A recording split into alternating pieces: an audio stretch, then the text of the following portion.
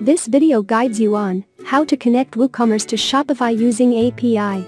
In your WooCommerce backend, go to the WooCommerce to Shopify plugin. In the general setting, there are some required fields to connect API. Let's go to the Shopify store to create a Shopify API and get this information.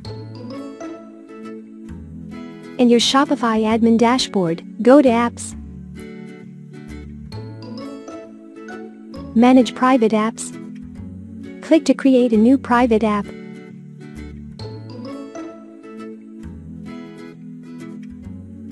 In the app details, enter your private app name and emergency developer email.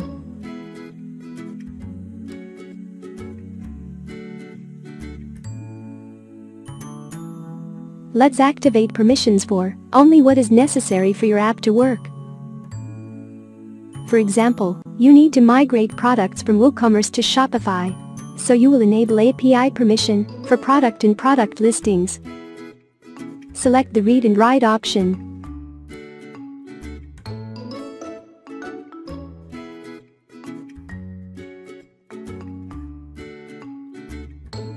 Then save and create app.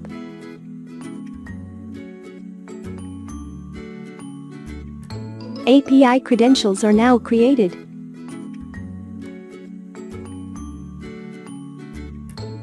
Go back to the WooCommerce store.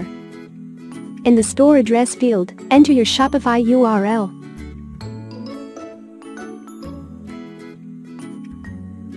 Copy and paste the API key to the API key field.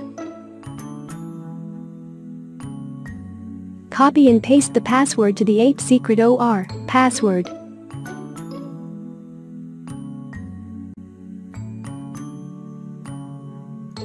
Then save all the settings.